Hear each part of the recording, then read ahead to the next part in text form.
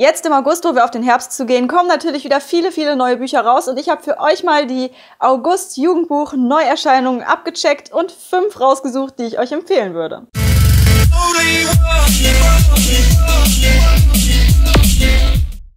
Das erste ist ein neuer Thriller aus der Reihe von Monika Feeth. Die schreibt ja die Jette Weingärtner Jugend-Thriller-Reihe.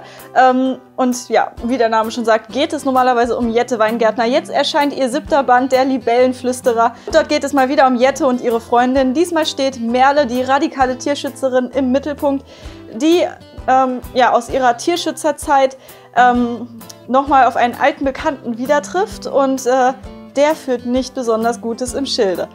Ihre Jugendthriller zeichnen sich dadurch aus, dass sie sich halt immer um die gleichen Personen drehen und ähm, diese immer in irgendwas hineingeraten, dass sie nicht unbedingt hineingeraten sollten und letztendlich selber in Gefahr geraten. Zur Jette Weingärtner-Reihe habe ich auch ein ganzes Video gemacht, in dem ich noch mal ein bisschen genauer darüber quatsche. Also schaut rein. Ansonsten sind alle Links zu den Büchern, die ich heute hier vorstelle, hier unten in der Infobox, damit ihr auch noch mal genau nachschauen könnt. Das zweite Buch ist eine etwas fluffigere Liebesgeschichte und zwar heißt es Kiss and Crime 1 Zeugen-Kussprogramm. Oh ja, Zeugenkussprogramm. Finde ich, klingt ein bisschen kitschig, aber von der Geschichte her ist es sicher ganz süß. Ähm, vom Inhalt her, finde ich, klingt es schon sehr nach niedlichem Mädchen-Liebesgeschichten-Ding, was man zwischendurch super lesen kann. Äh, es geht auf jeden Fall um Emily, ja, die eigentlich ein ganz normales Großstadtmädchen ist, bis blöderweise etwas passiert mit ihrer Mutter und ähm, deren Freund, die im Krankenhaus landen, weil sie sich mit den falschen Leuten eingelassen haben. Ziemlich gefährlichen Leuten, um genau zu sein. Und die ganze Familie muss auf jeden Fall geschützt werden. Das heißt, aus der Stadt werden sie erstmal aufs Land verfrachtet und kriegen tatsächlich auch einen Personenschützer. Und äh, letztendlich müssen sie auch ins Zeugenschutzprogramm, daher der Titel. Und ähm, naja, dieser Personenschützer, der bei der Familie zu Gast ist und natürlich auch auf Emily aufpasst, nun, wie kann es anders sein? Es ist ein gut aussehender, sehr junger Polizist. Und ähm, ja, darum geht es natürlich. Ich denke, man kann sich ausmalen, was passieren wird. Aber je nachdem, wie es geschrieben ist, stelle ich mir das ziemlich witzig und ziemlich niedlich vor und eigentlich genau richtig für Herbsttage. Meine dritte August-Jugendbuchempfehlung ist wieder ein Jugendthriller. Und zwar von der Jugendthriller-Königin, würde ich schon fast sagen, Ursula Putzenanski. Ihr neuestes Buch heißt Layers und ist schon vom Inhalt her einfach super spannend. Es geht um den obdachlosen jungen Dorian. Der wacht eines Morgens neben einem toten anderen Obdachlosen auf. Und dieser wurde offensichtlich kaltblütig ermordet. Erstmal ist Dorian total geschockt, weiß nicht, hat er das selber gemacht oder hat er einfach nur nicht mitgekriegt, was dort in der Nacht passiert ist? So oder so, er ist total fertig mit den Nerven und möchte sich vor der Polizei verstecken. Und genau in dem Moment wird ihm von einem Fremden Hilfe angeboten, die er dankend annimmt. Er geht mit diesem Fremden mit, der ihn in eine merkwürdige Villa bringt. In dieser Villa kriegt er Kleidung und Essen und eigentlich alles, was er sich wünscht, umsonst. Und als Gegenleistung soll er nichts weiter tun, als ein paar Werbegeschenke verteilen.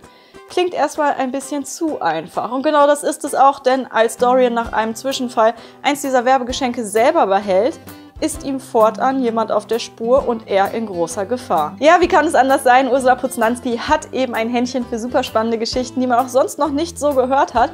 Und auch Layers, finde ich, klingt wieder nach einem absoluten Leseerlebnis ist auf jeden Fall eine Geschichte, die ich so noch nicht kannte. Weiter geht es mit einem Buch, das sicherlich etwas ist für alle Fans von Dystopien, nämlich der Maze Runner-Reihe.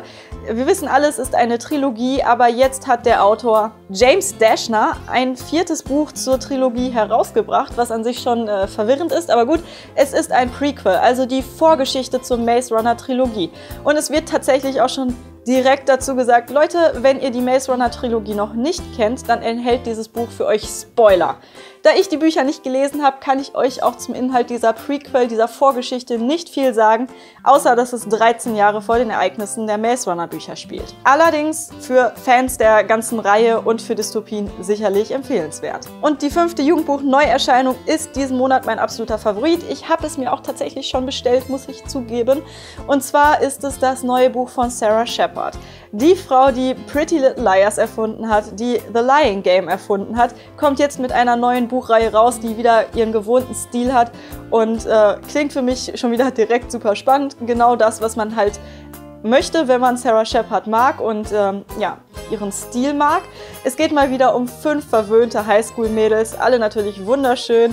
Ähm, erfolgreich, irgendwie gehören sie zu den Coolen. Allerdings haben sie eigentlich nicht viel miteinander gemeinsam, außer zwei Sachen. Erstens sie möchten gerne das perfekte Leben haben. Und zweitens, sie hassen ihren Mitschüler Nolan. Als sie eines Tages zusammensitzen und ein bisschen Langeweile haben, planen sie deshalb auch Nolans Mord.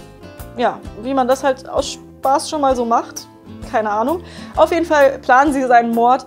Das Problem ist nur, kurze Zeit darauf wird er tatsächlich ermordet aufgefunden. War es eine der Mädels oder nicht, ganz egal. Die fünf stehen unter Mordverdacht und müssen sich jetzt natürlich ziemlich beeilen, um den Mörder zu finden, damit ihr perfektes Leben nicht anfängt zu bröckeln. Verratet mir doch mal in den Kommentaren, auf welches dieser Bücher ihr euch am meisten freut oder ob ihr noch andere Neuerscheinungen im Blick habt. Alles hier unten in die Kommentare. Ansonsten sind die Bücher, wie gesagt, auch dort unten verlinkt. Wir sehen uns im nächsten Video wieder. Bis dahin, lest was Schönes.